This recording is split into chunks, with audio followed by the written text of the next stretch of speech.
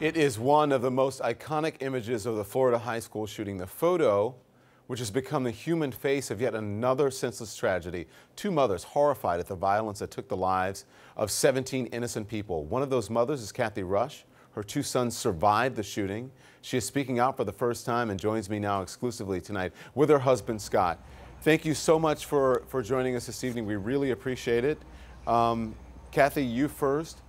How does it feel being, you know, part of an iconic photo? I'm sure it's something that you would rather not be part of, but what do you remember about the, the moment this was taken, this photo? Um, first of all, I, I just want to say I hate that photo with every core of my being. Every time I look at that picture, I relive it. And um, do you want me to tell you what led up to that? Because there's a little bit of a story behind that. Go on. We have you here to share Um, your story. Go ahead and share what you want to share. Okay, I um, I was at work. I'm the school nurse at Nova High School in Davie, which is south of here, and I got a robocall from my youngest son Connor's middle school that they were on a lockdown, and I hung up and I, and I went back to work, and it didn't bother me that my son's middle school was on a lockdown. It didn't bother me because I'm. It's been done before. They've been on lockdown before, and everything was fine. And I'm so desensitized to the lockdowns that it didn't bother me, and that bothers me now. And then my friend Jody called me and said, Cathi, did you hear what was happening? And I said, Yeah, the middle school is on lockdown, no biggie. She says, No, no, it's the high school. Kevin's going there now with SWAT. And then it, it, it was serious. And I opened my phone and it was everywhere. It was on the news, it was on Facebook. Everyone was posting everywhere. And I talked to Scott, and, and he had spoken to our oldest son, Adam, who apparently had evacuated to the middle school, which is right behind the high school here. And Brandon, my ninth grader, was hiding under a table in his classroom. And I didn't know what was happening. And I went out to the courtyard at my school and I sat on a bench and I just started crying and crying and crying. And one of the ladies there came over to me and helped me up and hugged me. And then they brought me inside the building to take me away from the students at that high school so they wouldn't see me crying. And and it was on the monitor at the desk, um, what was on the news. And they said, Oh my God, Cathi, go. Just give us the keys to your clinic. Go. Go get your babies. And I went to the parking lot, called my son, and my oldest son, I got a hold of him, and he was in the Walmart parking lot. He made his way from the middle school over to the Walmart parking lot. And I said, Stay there, stay there. I'm coming. I'm going to pick you up. It'll be about 30 minutes. I'm that far away. And I hung up with him, but I hadn't heard back from my younger son, who was hiding under the table. And I still didn't think it was as bad as it was. And then I got on the highway. I was coming home on the Sawgrass Expressway. And I can't even tell you how many police cars were passing me, literally hordes and hordes of police vehicles and ambulances and SWAT vehicles and they and it just they kept coming and they kept coming and they kept coming from everywhere, from every entrance onto the Sawgrass and I had no idea the magnitude of this when I was driving and I was crying more and more and hyperventilating and I called my mother and I was literally screaming into the phone to my mother. Can I ask you something, Cathi? Does it uh, still? Because I listen, I know, I understand that this is it's very upset, upsetting, and I know it's something that most of us cannot imagine.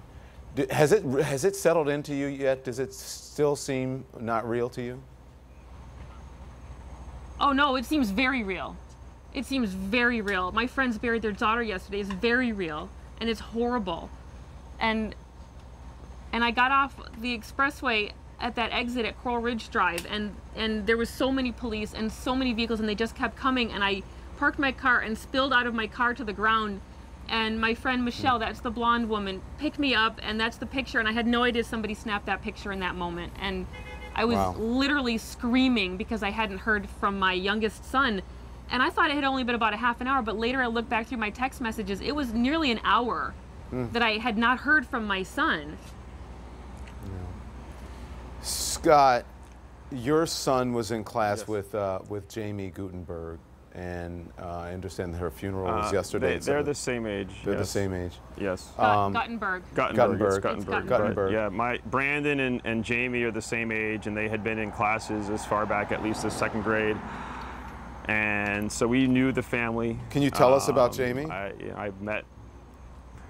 I, I would I would defer to Cathi to tell you about Jaime. I met her, but not enough to speak about her. I can tell you what I heard yesterday at the funeral, which was amazing. A woman, who, a little girl who had her whole life planned out, knew what she wanted. But I'm going to let Cathi talk about Jaime because she knew her a little bit better than me.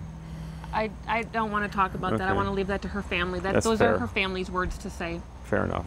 But that's from what we heard, an amazing young girl. Absolutely fair enough. How's your son doing?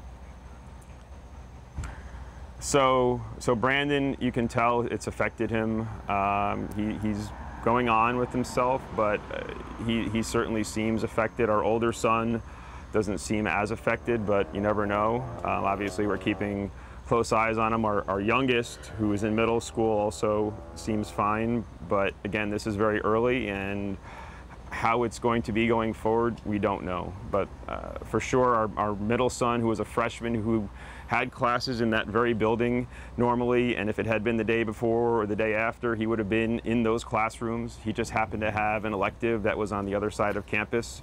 But had it been a day before or day after, we might be here telling you a different story. Yeah. And so that makes me shake just thinking about it. Well, listen, uh, we're glad that your sons are okay, and we're sorry for the tragedy that has, you know, befallen your community. And the children, the students there are so amazing. I mean, every single time I hear from one of them or see one of them on television, it's just unbelievable to hear their, their strength and their courage and just how, how bright and articulate um, they are. What do you want to say about those students before I let you go? Um, I want to say that those students are going to roar. You're going to hear those kids roar. They are so angry and so upset and so devastated that their classmates and their friends, and their teachers were gunned down. They weren't even just gunned down. Those kids were hunted in that school.